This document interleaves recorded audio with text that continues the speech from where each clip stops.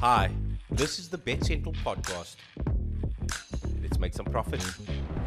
Hello and welcome to another Mastos Masterclass with myself, David Couple at Capilino on Twitter slash X and our favorite punter, Mastos. How are you today, my friend? I am I am good, man. I'm good. Um, it's nice to record consecutive weeks. Um, quite quite excited, even though um, as we are recording this podcast, um, as we're I don't mention it. Don't we are recording them. on a, on a, on a Thursday. Um, I've just witnessed two goals while I'm sitting here against United. Oh my goodness, that is um, that's a that's a so Let uh, so one. let's let's yeah, let's put the record straight for our listeners. United were leading 2-0. They were playing well. Mastos was not watching. Now Mastos tuned on the TV. Since he has tuned on the TV, Porto have scored two goals. So we know that he is the one that jinxes United. So if you also want Mastos to stop watching United, please uh, send us a message. oh my goodness. But okay, let's uh, Oh. jump into this week's masterclass. Um, another eight games, four on Saturday, four on Sunday. We're starting with uh, United's bitter rivals, actually. yes. Um, we're starting with um, United um, um, rivals, and it is again an early kickoff.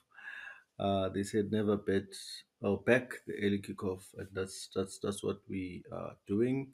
Here we have Crystal Palace versus Liverpool. Um, Liverpool is playing away, but the official bet here will be um, sorry, um, Liverpool to uh, win. As um, I think uh, everyone knows, Liverpool are quite, quite, quite in good form. Without even mentioning maybe um, some of their Champions League games, so far this season um, they are sitting uh, first, having played five, lost one. Um, even though the other teams uh, like City and Arsenal haven't lost, but because they've won the most amount of, of games. They are leading there by one point, having scored 12 um, goals and um, camp- and then counting the some of the Champions League and the cup game. I think it, they they their win it's eight out of the, the the nine, so they are quite in, in good good form, and they are playing um, against a, a Palace side um, for like this season. I'm not sure what's going on with um, Crystal Palace and Wolves they're still looking for a win, um, their first win this season. They've played six games, three win, I mean three losses and um, three draws, so they are quite in bad bad shape. And I think facing such a a strong um, Liverpool side, or maybe rather informed Liverpool side, for me, I don't see Crystal Palace are winning uh, this game. I think uh, Liverpool is just one of the games where they have to take advantage of a weaker side while then um, leaving some of those uh, disappointment in the bigger matches. So this one, it should be um, quite a simple game for them. So we're going to for we're going for a Liverpool to win. Yeah, I mean, based on everything you said and based on how both teams have played this season, I think it makes sense uh, for Liverpool to be the favorites in this game. Uh, they have won five in a row. Um, they look quite solid. Uh, just that one game when we or I needed them to win uh, against Nottingham Forest at home, they messed it up. So let's hope uh, it's not another case like this. But uh, I think away from home suits them a bit better than at home, where they expected to make the game. You know, Palace also expected to play a little bit more offensively than just only defending. But yeah, there seems to be something wrong, not clicking as much. Because when Oliver Glasner took over at the end of last season, they were flying and they were scoring, you know, at free will, uh, beating Aston Villa 5 0, beating United 4 0, West Ham 5 2. You know, I don't know what happened to that Palace side. Maybe it's Olise who went to Bayern Munich Uh, maybe he was so important to them that without him they're struggling a bit. But it's okay. They can continue to struggle for this week's masterclass. And um, Again, we are moving over to our favorite league for goals. yes, uh, the Bundesliga, where we actually have quite a, a simple one uh, and over 1.5 goals in the game of Union Berlin versus Dortmund.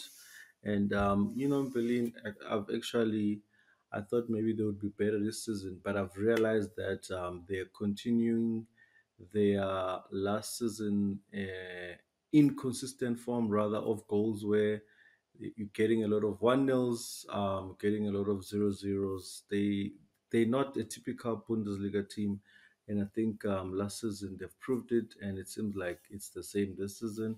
However, they are playing Dortmund, who um sitting quite comfortably in terms of the goals. Uh, looking at um, their recent games, maybe the last five, we have, um, I mean, together the Bundesliga and the Champions League, we have scores of such um, 7 1 against Celtics, 4 2 against Bochum, 5 1 against um, Stuttgart, where it was a loss actually.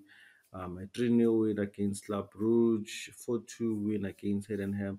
So you can see that these are actually quite quite high um, scoring games, and um, having to balance that out with a Union Berlin's um, low scoring games for me it's it, it equals to at least two goals or more, and um, with how uh, Dortmund in terms of uh, historically they are in terms of goals they are a team a good team to bet on goals. And that's why for a value that Betcoza is giving us, we are going for over 1.5 goals. Yeah, head to head also looks good. Um, actually, not finding a fixture between these two that didn't have at least uh, two goals.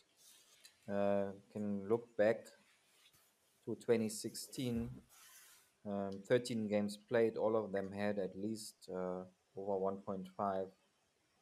Uh, last season, this fixture, Dortmund won at 2 0 in Berlin, and at home they won 4 2. Uh, Dortmund actually quite prolific in their with their record against Union Berlin, won six out of their last seven. Um, so expecting something similar. The goals to come rather from Dortmund's side uh, than Union Berlin's side. Um, Dortmund obviously also quite prolific now in the Champions League. Um, yeah, I don't think more needs to be added. We only need two goals. Yeah, just two goals. Mm. On paper, they are coming. It, I, I think it could be a game that has three goals even, but let's see. Um, our next game takes us back to the Premier League.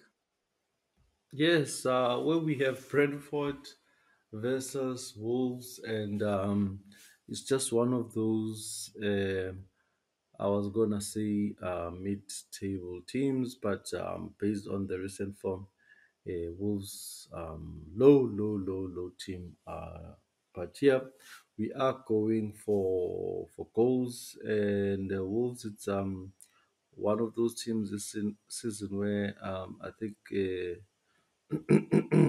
um, similar to to uh, what we said about Crystal Palace, where it's um, teams that you'd expect them to be more of like a mid-table. But to be fair, it is the beginning of the season.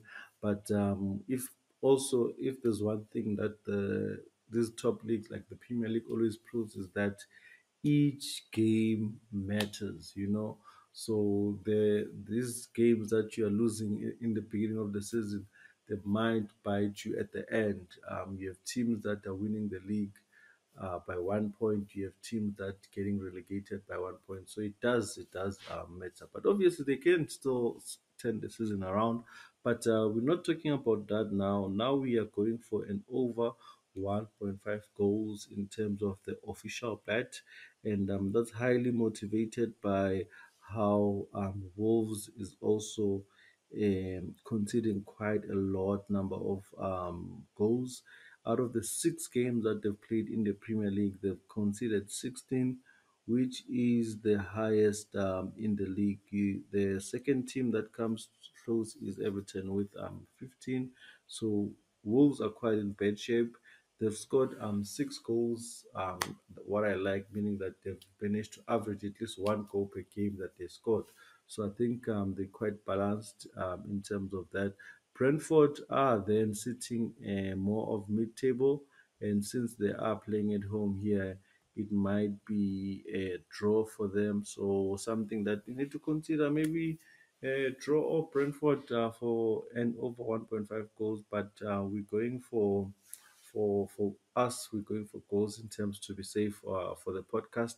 But another good stat that is motivating me for this bet is that Wolves this season they haven't played any game that's under 1.5. Uh, all of them, six out of the six, have been over 1.5, averaging 3.7. Like I said, they concede quite a, a lot number of goals. Brentford on the other side, they're similar. Um, six out of the six games they've played, all have been over 1.5 goals and then averaging three. I think even though these teams um, traditionally none of them is um, the top teams, but I think they can easily deliver these two goals that we need. So yeah, that's it. Yeah, let's hope they do. Uh, they have done it the last nine games between them, uh, over 1.5 goals. You have to go back to 2017 to find the last game between Brentford and Wolves that didn't have over 1.5 goals. Uh, they actually met three times in 2024. Uh, 2 0 win for Brentford, 3 2 for Wolves, 1 all. And then last year, Christmas, they also met 4 1 for Wolves. So the goals are there in this fixture. Let's hope they come this weekend. Um, not much more, I don't think, needs to be said. Um, let's move on to our fourth uh, Saturday game Manchester City against Fulham. Yes, yes, City. Man City against um, Fulham. Uh, we do have to remind everyone that we did have Man City uh, last week. I think they were playing Newcastle away against. Yeah, they were playing Newcastle away, and then we had them for an over 2.5. And then that game ended as a surprisingly 1 1. I think that goes to show sometimes betting is um quite quite quite quite strange because I did expect a lot of goals in that game, but that's that's what happens sometimes, and that's why we always stress that we need to keep it fun. And um this this time around as well, we are going for an over two point five again, and a team like City, it's so rare for them to play um consecutive games that, where they are failing to to bring on some goals We've seen um, how Haaland plays. He can blank out this week, zero goals, and then come with four goals um, the next game. So it's one of the of those teams. They are sitting um second. Uh, Fulham are sitting sixth, not doing so bad. Um, to be honest, they're quite um, in good form according to me. So they should be able to give City quite a quite a, um, a, a good game. But I think uh, what motivates me quite a bit here is cities when they're playing at home, um, they play quite comfortably. Uh, in terms of um, they have a, a, a 2-1 win against uh, Watford in the cup game. They have that 2-2 um, draw against Arsenal where they got a last minute goal um, to to to make it even and then um, we have that odd game with Inter Milan where it was zero zero. But besides that one, it's been 2 1, been 4 1, 2 1, 4 2. You know, it's um they quite they playing they play quite strongly at home.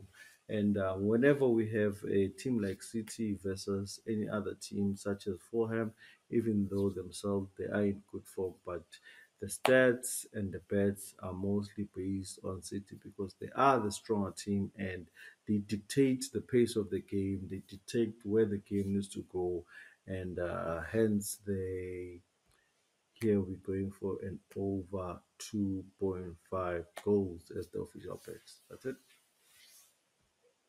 Yeah, this is a fixture that City have dominated quite a bit. 16 consecutive wins against Fulham, and six out of the last six games had over 2.5 goals. Four out of the last five had actually both teams to score. Uh, but there were some impressive um, score lines 4 0 last season at Fulham, 5 1 at home for City. The season before was 2 2 1 wins, a 4 1 in the FA Cup, a 3 0, uh,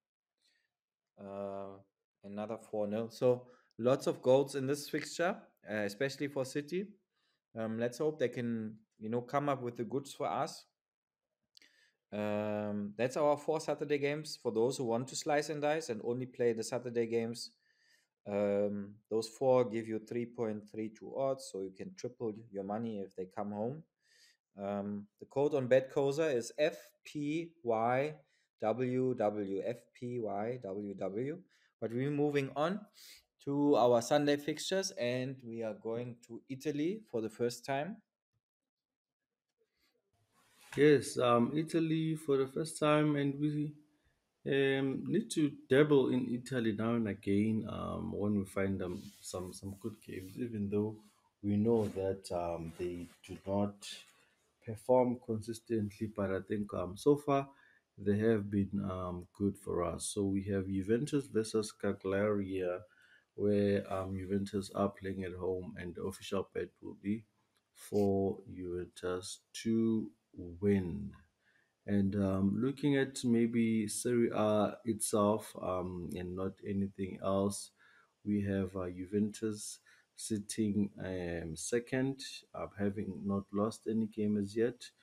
It's three wins, two draws, quite underwhelming, but um, it's still second. And then we have Cagliari here sitting uh, 17th, which is a one spot above relegation um, zone. We have to do note that it's still the early um, days of the league, but in terms of form, it does say something that they are not quite in good form, even though they did manage to win their latest games. Or actually, was their only game to win this season in terms of the league itself against Parma, where they won 3 2, but they still considered two, um, a, a, a, what you call um, three goals. So I'm quite confident that at home, uh, Juventus can be able to, to win this game uh, against um, out of form a um, team like uh, Cagliari, even though I am hoping as well that um, Juventus bring that brings that form they had also when they played uh, RB Leipzig in the in, in the league, uh, so in the Champions League where they won three two. So for me, I think it's um, quite a, a, a no brainer. They have to uh, bring it home. And that um, win at RB Leipzig was quite impressive because they went down to 10 men and they went down 2 1. They went behind 2 1, but they came back and, and beat them 3 2 in Leipzig. Uh, Leipzig are quite weird this season.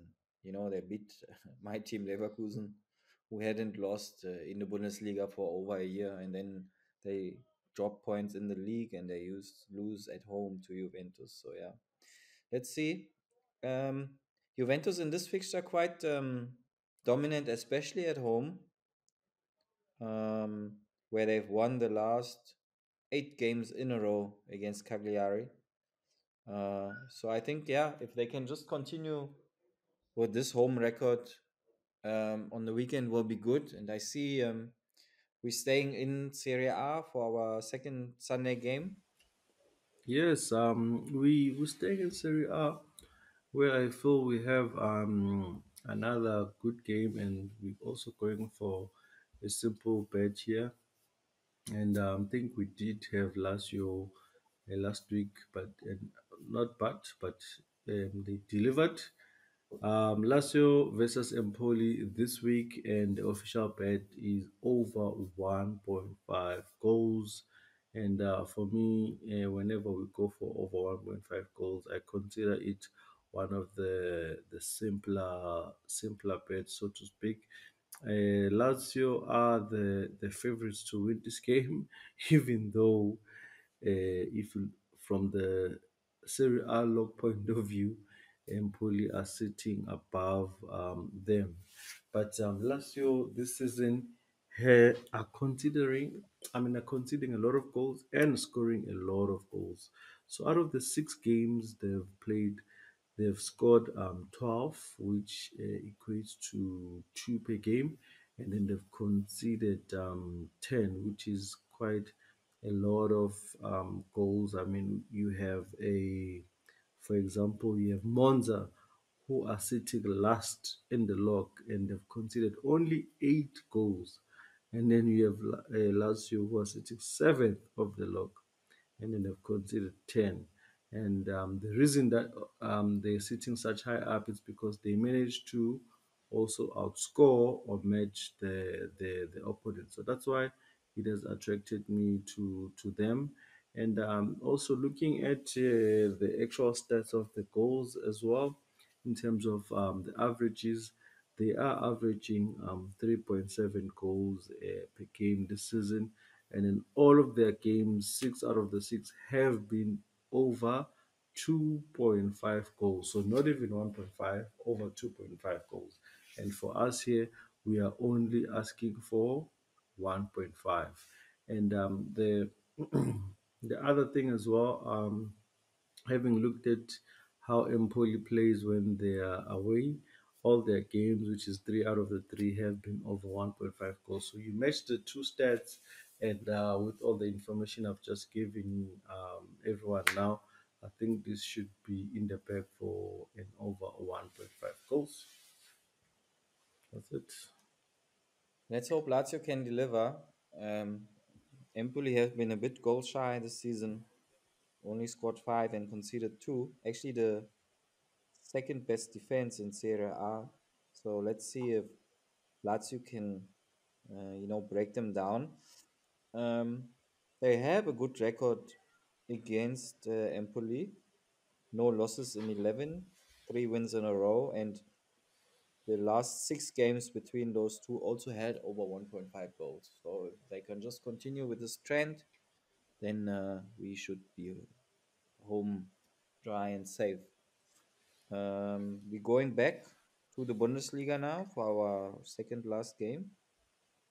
Yes, um, we're going back um, to Bundesliga. We almost um, at the end, like you're saying, where we have Heidenheim versus um, RB, and um, here we're going for over 2.5 goals.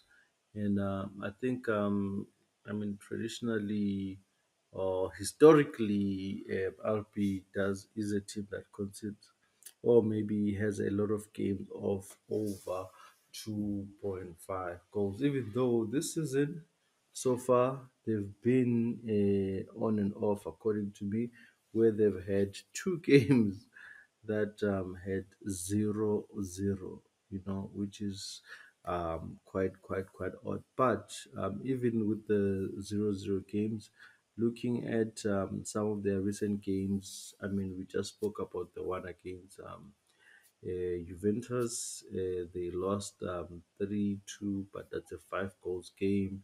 The one before that one, they've won it uh, 4 0. And then the odd one out, um, like I said, um, the one against St. Pauli, where it's 0 0. The one before that was Atletico Madrid, where it's 2 1. So they still have that healthy uh, record in terms of um, uh, goals.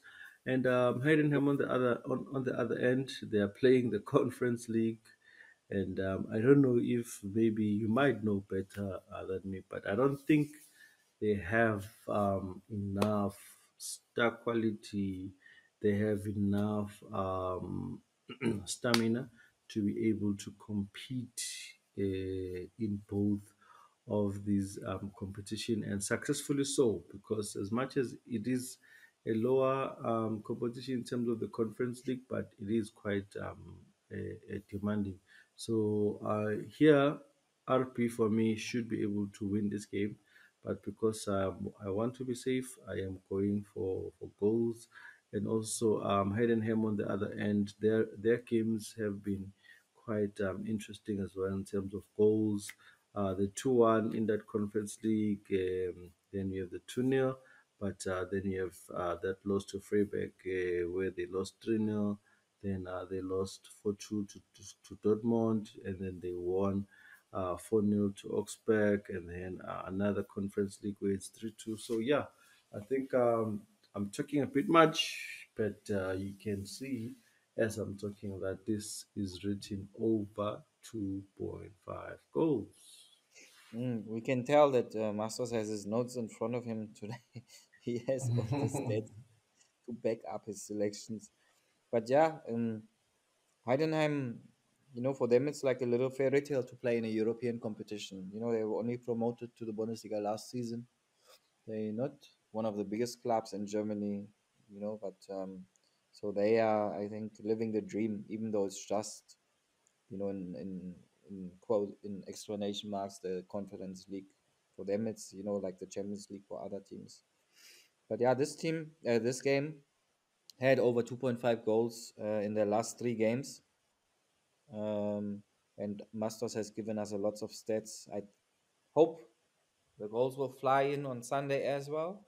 No, maybe maybe there are some tired legs after both teams played in Europe- European competition this week, uh, which also helps our bet.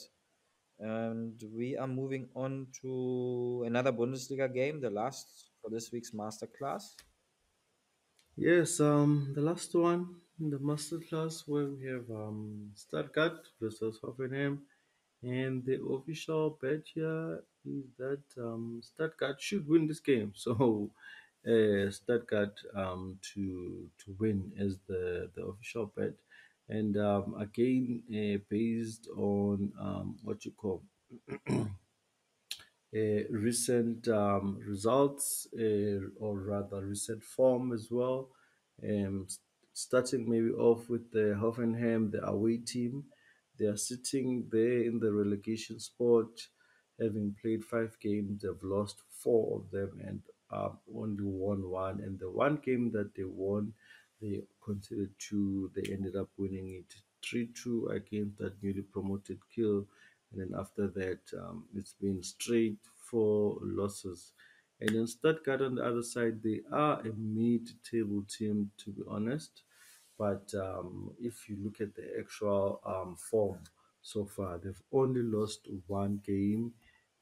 they've only lost one game against Freiburg, and then was two wins and two draws. It's just that this is a a quite um, strong league. So even though you might only lose one game, some of the draws can throw you off. That's why they find themselves sitting um, in that um, eighth uh, po- position. And then um, at home, Stuttgart, they've won one. Um, then they've drawn um, uh, one as well because they've only played two two games instead instead of the league. But the goals that they score. I mean, it's 5 1 at, at home against Dortmund and um, a 3 3 against uh, Mainz. So for me, I am quite um, comfortable uh, with them. And um, again, with them, they are in the UEFA Champions League, but um, they're still in the in the league um, phase where they've played uh, round two, finished one one. So they they quite they quite strong. Um, for for me, it's just they have been unlucky in the Champions League where their first game was against Real Madrid and they caught it um, three one. But otherwise, overall, they should be good for it. Um, Hoffenheim are playing in the Europa um, League as well, but I think for me, they did well last season, but I don't think they have um, what it takes to go all the way this season. So, yeah, I mean, Stuttgart to to win in this game. Yeah, I thought I thought you would say over 2.5 for this game because Stuttgart and Hoffenheim, you know, they are having goals in their games. Stuttgart, nine out of the last 10 games had over 2.5. Hoffenheim, five out of six. And both teams to score for both teams in their last seven games. And also in the head to head, five out of six over 2.5, five out of six both teams to score. So for me, it's a fixture actually that's destined, you know, for um, over 2.5 and both teams to score. Mastos selected the Stuttgart win at home. Uh, they have won quite a bit uh, of their home games recently. There's no loss. Uh, I think in all of 2024 at home. So they are the favorites definitely for this game. Um, let's hope they can live up to it. Uh, there is a little bonus bet that people can look here. Uh, I think Stuttgart games are primed for over 1.5 goals in the first half. Um, I think I had that in the Champions League game now as a single, and it came through. Um, so if you know people are a bit more risky, they can look at that. It should give you double of, of what you put in. But yeah, eight games for this week's masterclass powered by Betcoza. Um, eight games and 11.74 odds. The code for those who want to play on Betcoza X9YQJ. X9YQJ. And then, as always, Mastos, any famous last words? Uh, famous last words um, so far is that um, I'll finish this United game and uh, hopefully uh, I sleep with uh, with the with the win. But otherwise, guys, um, I I- I did say and did mention some of the weird results, and I think um, if anyone has watched the Champions League um, yesterday, they saw some of the results. We did speak about it um, offline uh, between you and I teams like um, Real Madrid losing uh, 1 0 to Lille, team like uh, Bayern uh, losing 1 0 to Aston Villa. So it can happen. And um, that's why you should never think a bet can come 100%. Uh, so you must continue being um, responsible and um, having fun with it. And um, thank you to Betcoza for the platform. Yes, slice and dice. Bet responsible. Bet with what you can afford to lose. You know, it's uh, still close to payday, so maybe the bank accounts are a bit fuller, fuller. But uh, don't think you know it's just easy to double your money. Uh, if you need to pay your bills, pay them first, and use whatever is left, uh, maybe for betting. Um, but remember, it's also after European week. There's always some surprise, or some teams have tired legs. There's always some of the favorites are dropping points. So um, try to avoid those. Uh, let's hope we can bring this masterclass home, and hopefully we'll hear each other again next week. Yes, yes, sir. Cheers, cheers. Thank you.